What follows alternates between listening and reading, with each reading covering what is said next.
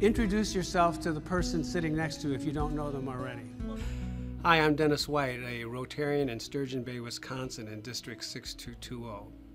This video is a demonstration of a presentation on culture shock and reverse culture shock. It's suitable for presentations as a model for inbound and outbound students, parents, and interested Rotarians. This video includes excerpts from a presentation on culture shock and reverse culture shock, as well as demonstrations of ways to make the presentation interactive. At the end of the presentation, viewers will be directed to other resources, including all of the PowerPoint slides that can be used to adapt for their own use.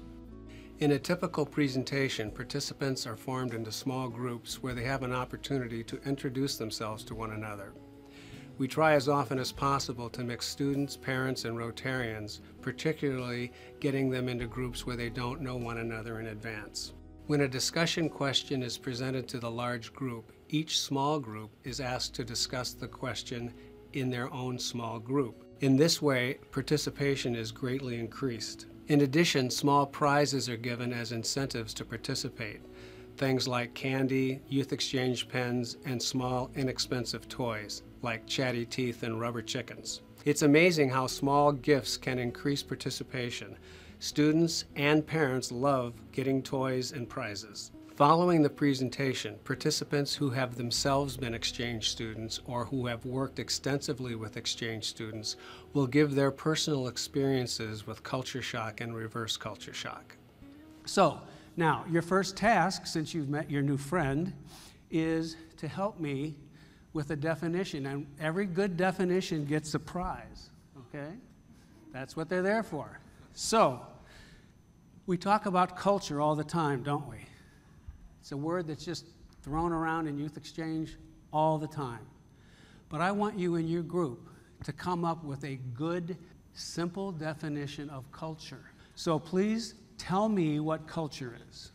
Culture is the set of conscious and unconscious beliefs and behaviors that define a group of people. Culture is a personality of a group of people.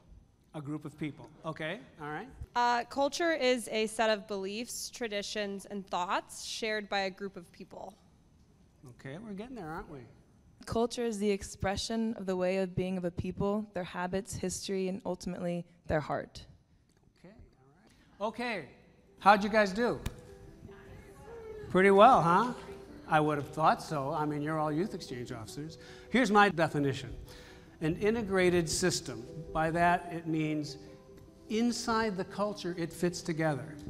To an outsider, it may seem like random, crazy behavior, but within the culture, it makes sense. Learned behavior patterns. No one is born with culture. We learn how to stand, how to talk, how to eat, how to dress, etc.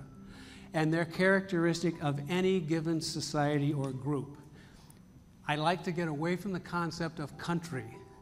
For example, if you're in Spain and you try to tell someone what Spain's like, good luck, because there's so many subcultures. Same thing in the United States. So it's any given group. It can be a family when we change from one host family to another.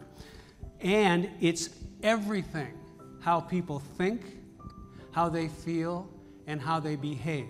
So we know that we're in a different culture if we don't understand what they're saying, or if they dress differently, or they put some food in front of us and say, This is really good, and you don't recognize it. But we can't see how people think, and we can't see how they feel. That comes in the more subtle uh, manifestations of culture. So then, if we talk about culture shock, we have to decide what that means. So, once again, in your group, each try to come up with a definition of culture shock. Okay, when you are in another culture and you're missing your own culture because it's different and, and you're stuck in another different way of living.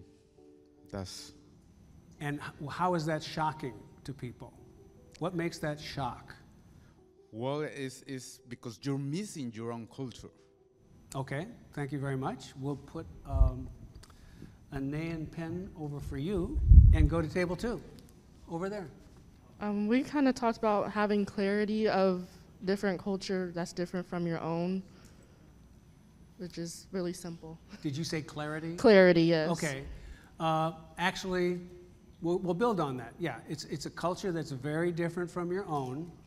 And it surprises you. Um, you're not expecting it to happen uh, because you maybe think that you're going somewhere very similar, but something rubs you differently, something doesn't fit quite right, and you're trying to figure it out. So, confusion, the sadness, the realignment, the reorientation, sort of being outside what we refer to as outside your box.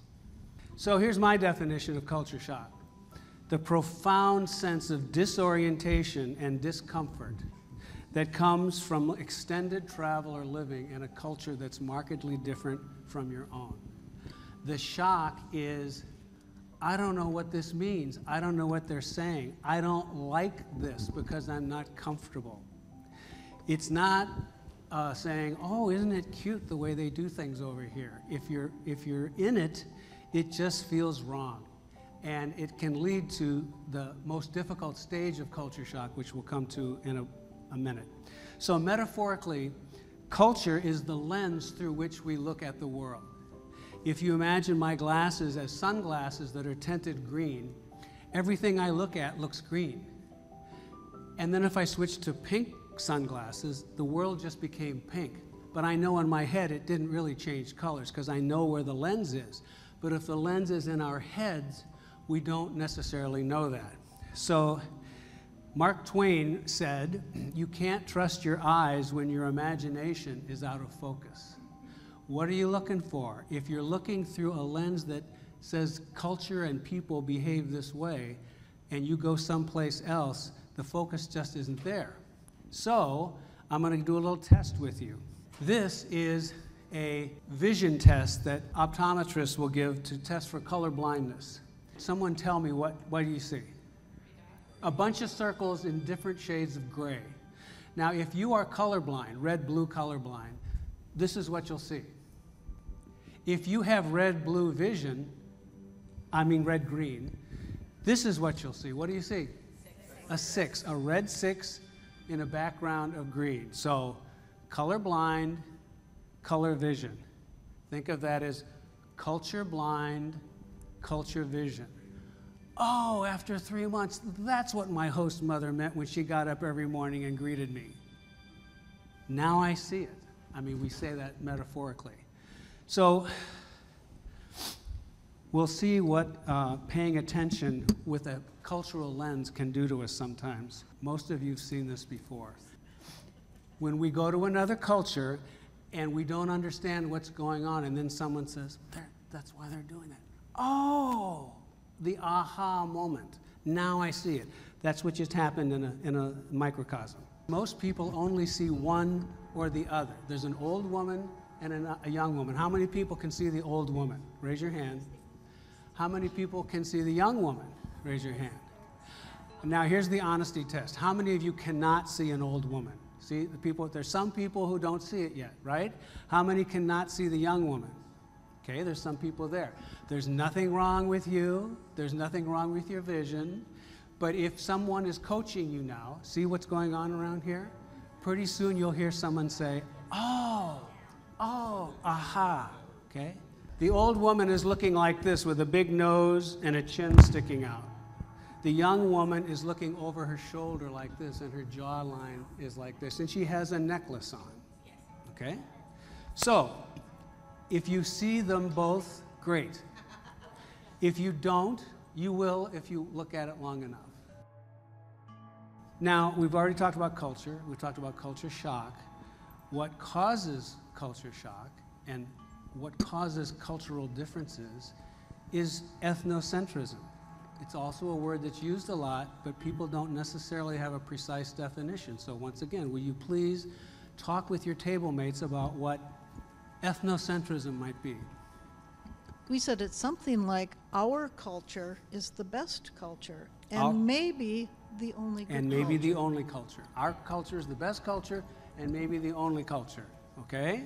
That our values are, you know, more important and kind of more right than another culture's values. Believing that our values are not only more important, but probably right as opposed to the other culture's values. Good. Our culture is right what we think is right, and it's better than yours, and yours is probably even wrong. Not just that we're better, you're wrong. The idea that a culture, uh, from your point of view, is better, correct, or more accurate than anyone else. Here's my definition of ethnocentrism the universal, this is important, the universal tendency for any culture, all cultures, to see their own values and practices as natural and correct. Doesn't everybody do it that way? When we had a German uh, inbound in having dinner at our house, and my children were like two, four, and six, we all know that Europeans use a knife and fork the correct way, and we Americans, if we use anything, it's a fork, and usually it's just our fingers, right? So, so here are my three children who are barely housebroken, and they're looking at Johann saying, "Boy, you eat funny." You know, there's the pot calling the kettle black, right? So they're, they're eating with their fingers.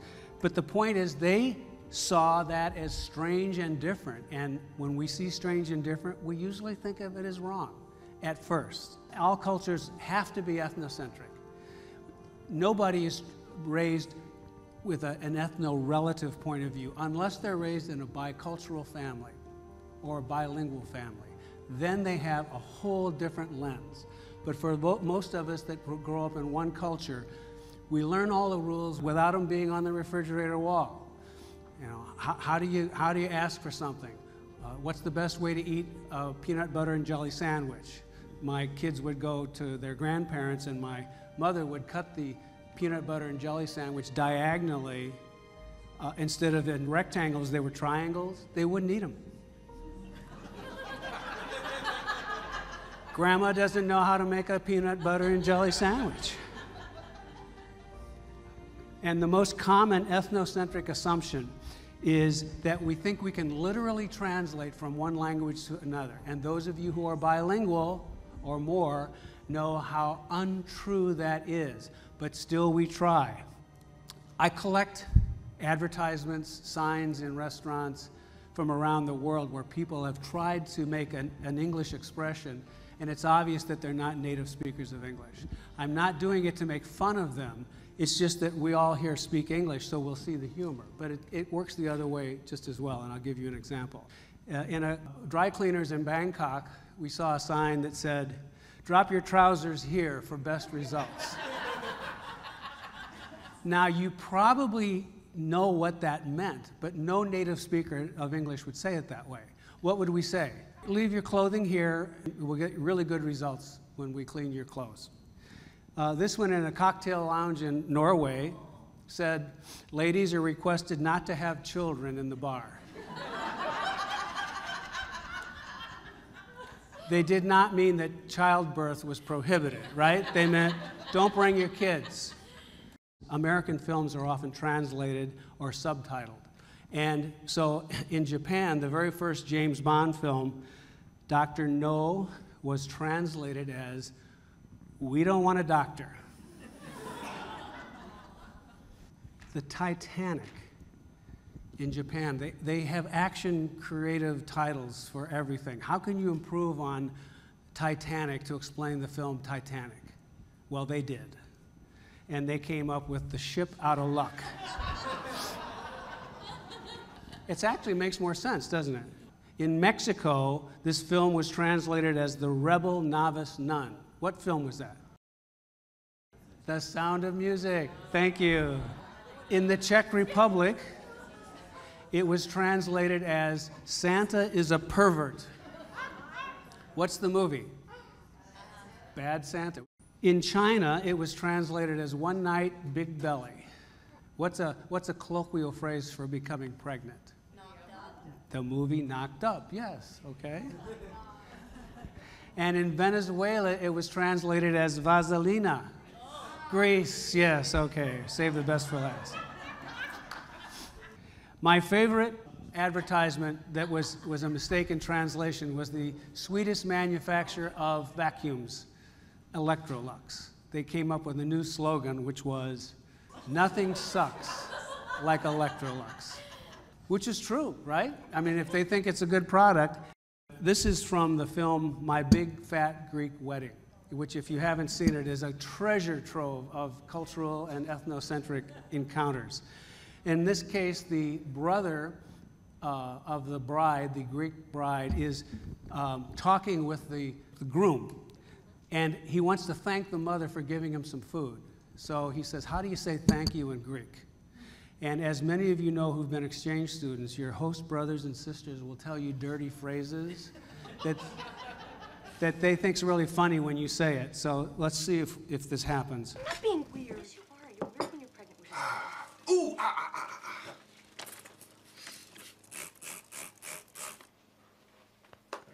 Ian, eat, eat.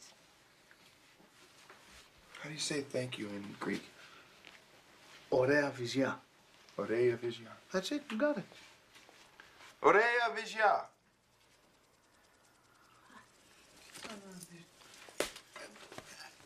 I was in the American Peace Corps in Iran, and I taught English at all grade levels. And the littler the kids were, the more they knew that I didn't speak Farsi very well. So they would do this to me all the time. Or they would ask me a question, and they knew if I didn't understand it, I would just smile and say yes. So they asked me some really obscene questions, and I just say, yeah, yeah, yeah, yeah. so this one is where uh, it's not so much understanding the language as pronunciation.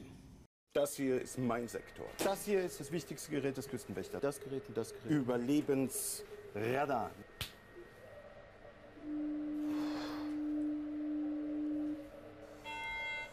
Mayday, Mayday. Hello, can you hear us? Can you hear us? Can you... Over. We are sinking. We are sinking. Hello? This is the German Coast Guard. What are you thinking about? That's a ship out of luck. In a new culture, everything is harder. Everything is harder. And our own culture or subculture comes to us as naturally as and, and unconsciously as handedness. So if you're right handed, you don't get up in the morning and decide which hand you're going to use to brush your teeth. You go with your dominant hand.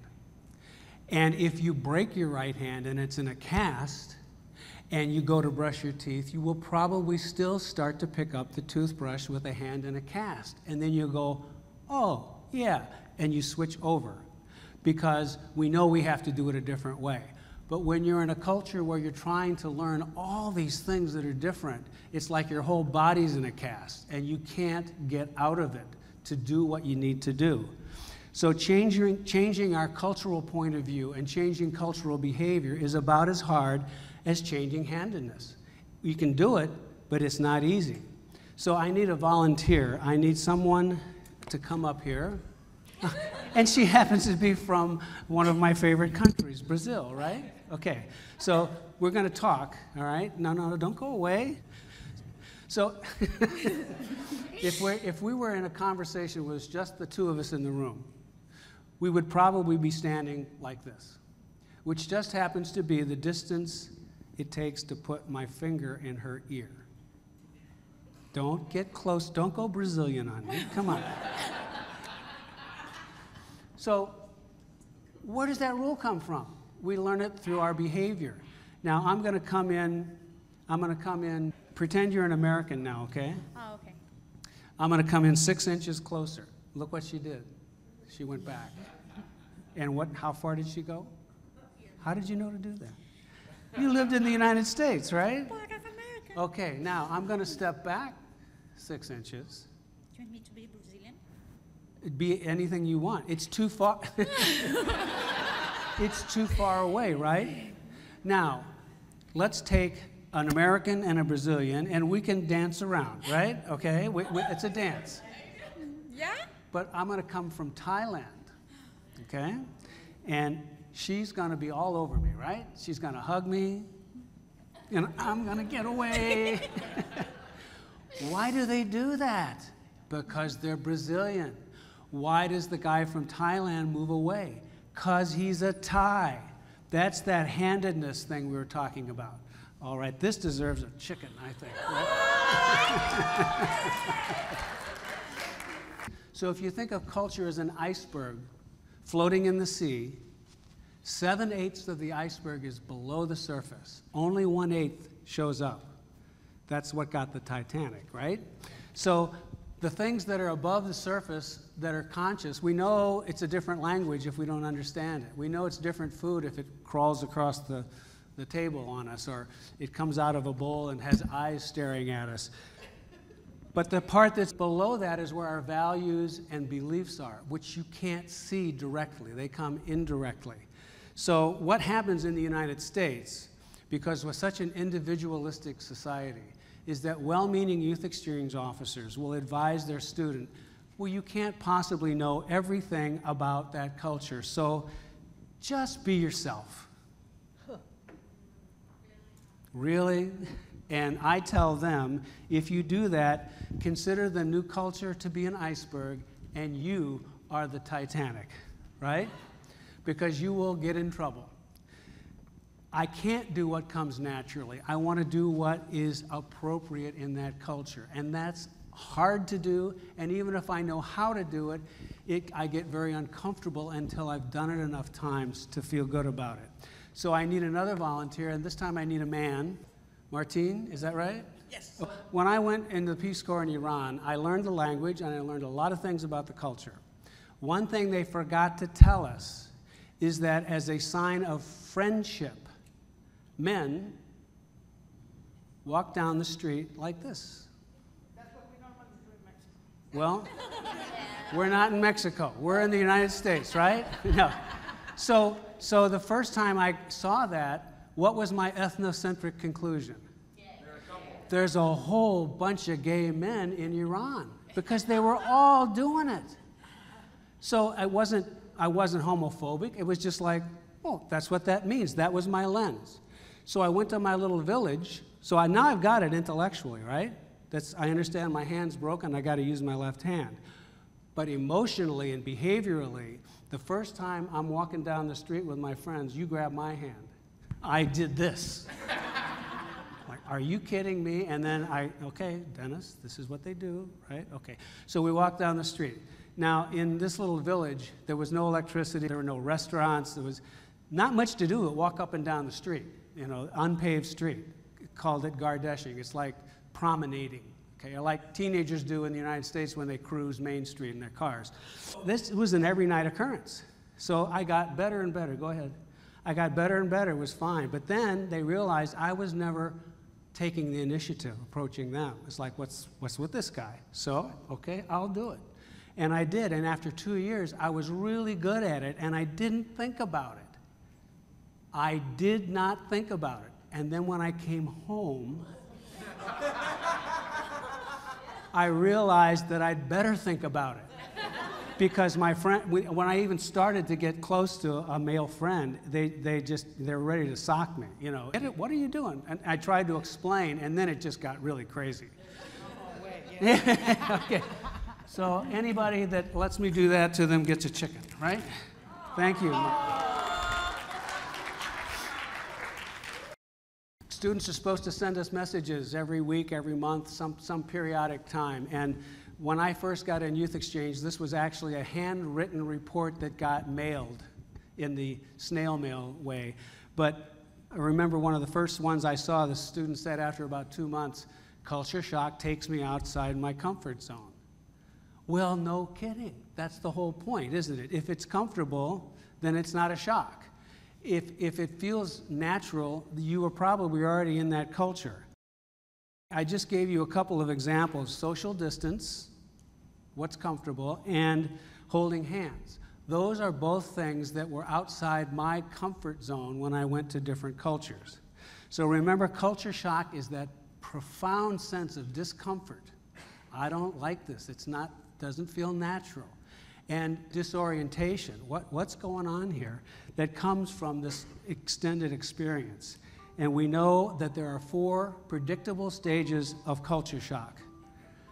They don't happen the same way for everybody, but there's almost always a period of initial excitement. For your outbound candidates now, they're already in it. They haven't even gone where they're going, but they're excited. They're learning about the culture. Then they hit the wall. When they get there and they realize, holy cow, these people are going to be like this all the time. Um, girl who went to China in a group, and after about three weeks, a person like me was processing and said, "So how you liking it here in China?" And this girl said, "I love it. I got to go to Tiananmen Square. My host families have been so nice to me. I, I got to see the Great Wall." And then she had this kind of far off look in her eyes, and she said, "But you know, over here they eat Chinese food every day." And she wasn't trying to be smart or, or, or sarcastic. She could have said, I really miss Big Macs or something like that. But the point was, Chinese food in China is not ethnic food, it's food, right? So that was that irritability stage. And when people get to that stage, they don't say, Gosh, I think I'm in the irritability stage of culture shock. They say, I don't like this. I think I picked the wrong country. I'm in the wrong place something went wrong here. But then, if they stick with it, there's this long period of gradual adaptation, usually bound in language acquisition, and then finally, integration or ability to be in both cultures. To be maybe a, a six foot, blonde, blue eyed uh, white guy who's in, in uh, Japan is never going to look like a native, right? But he can act like it, he can learn the culture. So, the typical stage of culture shock can be depicted in this diagram. You've got the months of the year, and you have a normal level of feeling going straight across, and then you have the emotional course of a year of exchange. Stages one, one is the, that first peak, two is the irritability stage where people dive down, three is a long, slow adaptation stage, and four is being culturally competent or competent enough to survive in the culture. And then look what happens. The, the highest point, what month is that? 10 months. That's when you got to go home. And that's why rebound students or outbound students who are going to become rebound say, no, it's not fair. I, you can't make me come home now. Of course, we know we can, right? But but the, the emotion, the sentiment is it, this is just getting good. So when they come off the plane, they're not necessarily happy campers. They're, they were excited to go abroad. They may not be excited to come home. I wasn't ready for this. So look at the four stages depicted here, and we are going to be a human culture shock cycle at this point. Okay? I've got some swimming noodles here and we're going to recreate this chart. And the first stage, that's it, is excitement. So, what would we see when someone is in that first stage? What kind of behavior does the student engage in when they're in the excitement stage? What do we see? What did you do? Everything's good. Come up, Terry. Come on, come on, quick. Oh, everything's great. that's good. That's good. All right. What else would we see or hear? Trying what? all the food. Trying everything. Come on up. Get, get another one, Terry. Terry. Uh, what, hun? You got to go like this. Oh, what I have to do? Don't move it. Just Okay. stand there. That's Okay? what she said. Yeah. okay. Drake says, Trying all the food. trying all the food at least once. I tell students that too. You can always throw up later. You don't have to worry about it. Just try it. Just try it. Okay? What else would you see? What else would you what would people be doing in that first stage? Eh, They're tourists, right? Uh, taking pictures, I'm sending them back home, going everywhere. All right, you get right behind, right next to Drake. Now you guys have to get real chummy. Get close to one another. All right, we're still going up. But you hit the wall eventually. What do we know happens to students when they hit that wall and they get into that irritability stage? What do we hear as, as uh, YEOs? I don't like this place. What else? I miss my friends. I miss my family. What else? That's not for me. This is not for me. What do you say? Well, you, I, I'm mi- missing my I miss my family. I miss my, friends. Okay. What's the worst thing that people do in the irritability stage of culture shock? They isolate. Who said that? Come on up. They withdraw. They spend all their time in their room. They're online all the time. Come, come on over closer to her. Get, get together, guys. Come on. All right, now we hit that long, slow adaptation phase. What has to happen? What do we see when we know the student is starting to learn the culture? Language acquisition. And what is the, one of the most interesting things that students tell us when they're getting the language? I'm dreaming in Portuguese. I'm dreaming in German. So who said that first? Come on up, Roberta. What else? What else happens in that long, slow adaptation phase? They make friends and they do stuff. It doesn't have to be a perfect chart, right? What, what's something else a person would do when they're, when they're trying to adapt? How, how would we know that they're doing that? Come on up here. If they're having problems, they solve their problems where they are.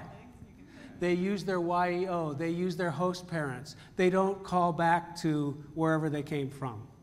They're still going to have problems, right? But they're going to solve their problems where they are. Okay? Now, no, that's good. Actually, we got to bring that down just a little bit. It'll come up in a minute. And, and uh, the last stage is actual cultural competence. Now, when someone says, I've been dreaming in German, then that means they're getting the language. What are they going to do when they really have finally arrived? They're, they're, not, they're not German, but they feel comfortable in German culture. What do we see? What do we hear from them? I'm doing it without thinking about it. What else do we see? Remember what month of the year is? I'm not going home. You can't make me go home. Somebody come up and be that person. I want to stay here. If you all remember what your phrases were, we're going to go through a quickie course in culture shock, starting with Terry. Woo! Everything's great. It's so amazing here. I want to try all the food. I want to visit everywhere. This is not for me. I'm start missing my family, my people. I don't want to talk to anyone. I speak the language. I'm thinking of um, Portuguese. I've made friends. I haven't talked to my friends or parents for months. Wait, wait, again, so we hear you. I don't think or talk in my own language. I don't even think or talk in my own language. I want to stay here. I'm going to stay here. Or this, this I, I don't even think or talk in my own language. When I do talk to my parents, I start talking in the language in, the, in my host country, and they say, What are you talking about? And I say, Well, I can't really translate it because they've learned idiomatic expressions. Okay, so when I do this with students, we go through it several times. Now, if I stood up at a lectern and said, the first stage of culture shock is excitement and lots of taking pictures, and then I go through it three or four times, I've lost them. But they're the ones that are doing it. So they understand there are these stages. Now, this is pretty good because look at this stage. Look how high that is. This was high. This was a lot of fun. But that's tourism, isn't it? This is cultural competence. This is mastery. This is a, an inner sense of accomplishment. And as we know, you can't buy that. It has to happen. And that's why when we can get them to talk about it, our rebound students can just open up a world of awareness for us and for them. The irritability stage is so difficult for some students. They want to regain that high, this high, of it was so nice when I was, it was all new and fresh. And they never go through the wall. They don't get through that barrier, the red line. So they get in a kind of a vicious cycle. And they'll turn to other inbounds because it's easy to make friends with other inbounds, right? Not so much with your host brother or your host sister. But if they can do it, they get through that stage and they go to that gradual adaptation stage. They go through a real enculturation. These are all synonyms for getting immersed in a culture. Acculturation, immersion, assimilation, adaptation, it all means the same thing. You are getting outside yourself and learning to do something a totally different way. And that integration stage, We talked about you don't have to think about it first, you don't have to translate in your head. Um, you can do things uh, without thinking about it. If they eat with their fingers in India, you just eat with your fingers in India. If they use a knife and fork, or if they do it the European way, it's not right, not wrong, just different. And we also hear a lot about why it's not fair that we make them come back. So I talked about that second high, that's the dotted line. That is cultural competence. It beats the heck out of tourism. Now, most people anticipate some degree of culture shock.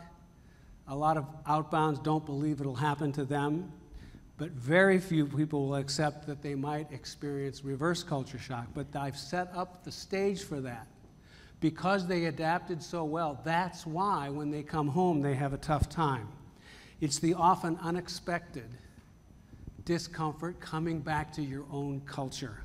So I'm going to say that it's the same four stages, but the initial stage may be very short or it may not happen at all.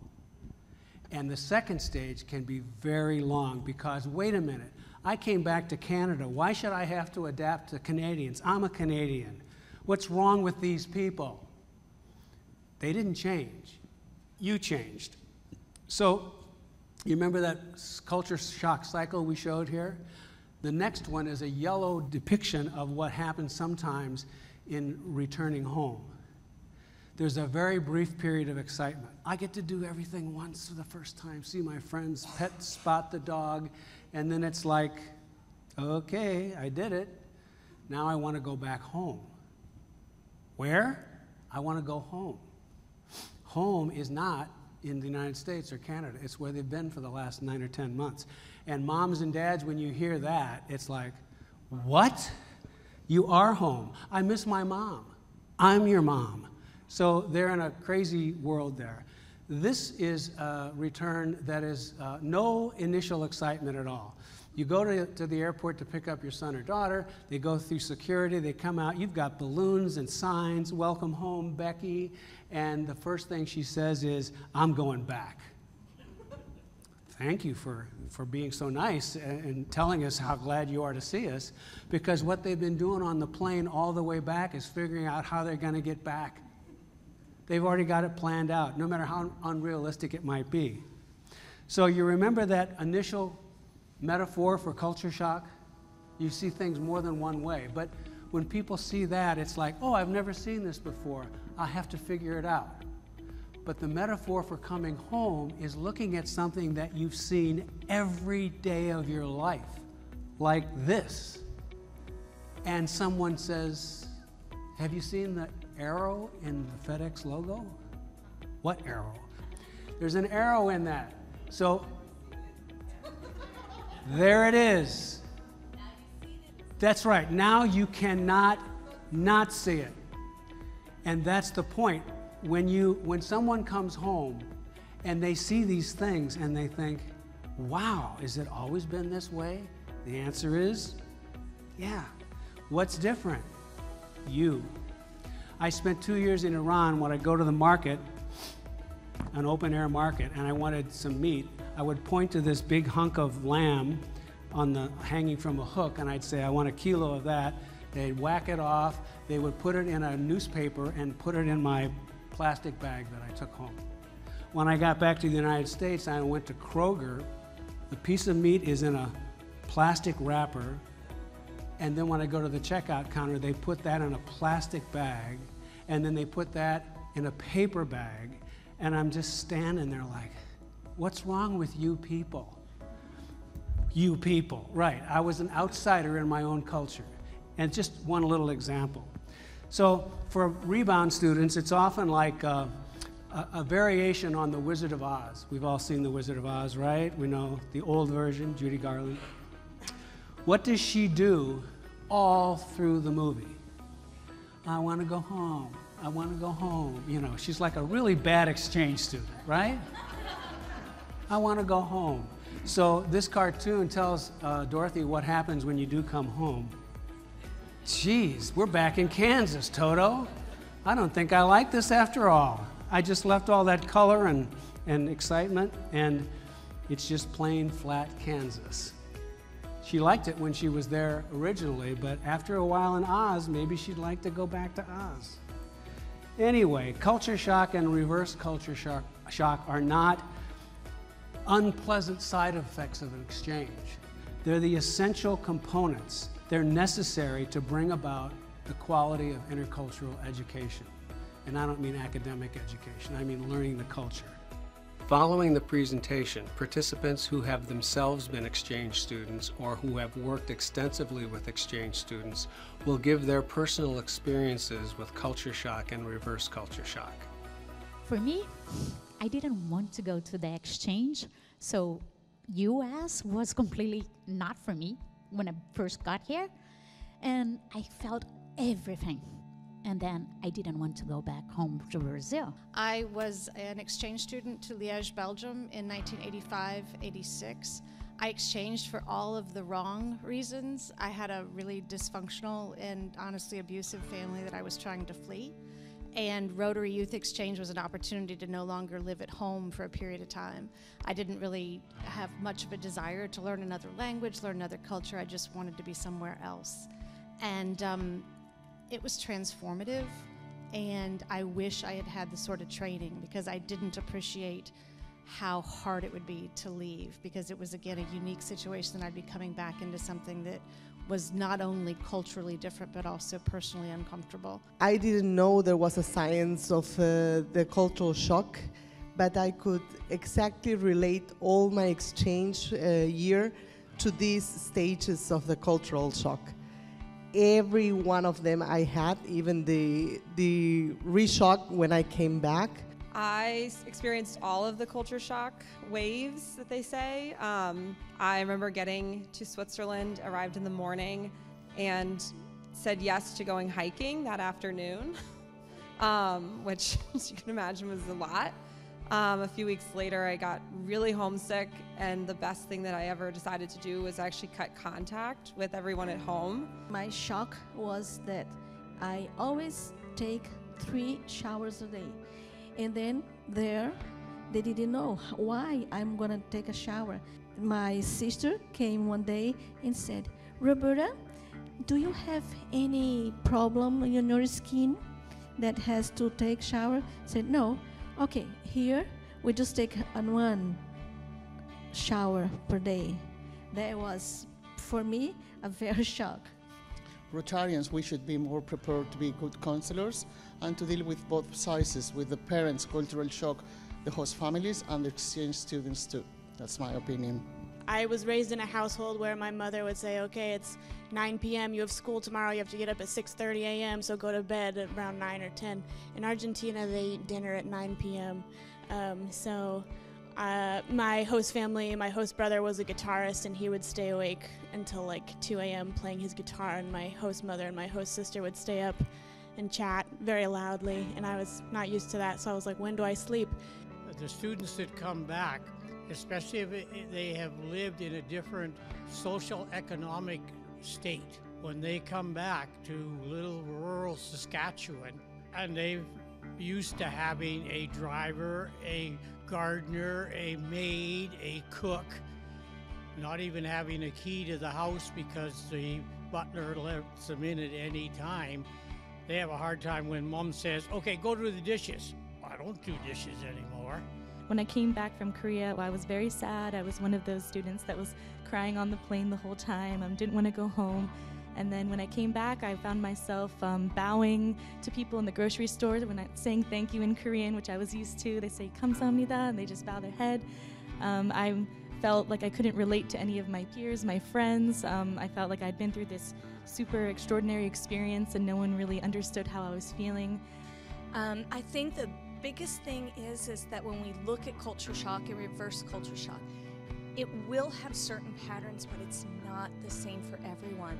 And we have to treat each student uniquely, taking in not only where they're from um, and our perceived ideas of the culture that they come from, but also what they've experienced before they've come.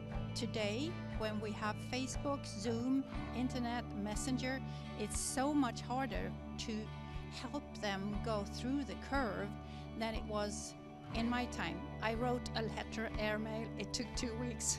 and another one came back. It was a month in between. And then things could, you know, emotionally, many things could happen during four weeks. But now it's instantaneous. We go through this culture shock training with the students, and it's made a massive difference because now they uh, they understand that the culture shock is coming because it comes for all of them, and that when it comes, go dark again, stop calling home, instead get out of the house, get off your phone, just talk to friends, talk to your school, do chores, anything to be active, and it's been massively helpful. And then kind of even doing the same thing when you get back home with reverse culture shock. The PowerPoint slides and written articles about culture shock and reverse culture shock can be found at nayen.org under YEO resources. This video and all related materials are free and available to anyone working in youth exchange activities. Viewers are encouraged to adapt these materials and develop a presentation that they're comfortable with. Good luck as you attempt to make a good presentation on culture shock and reverse culture shock.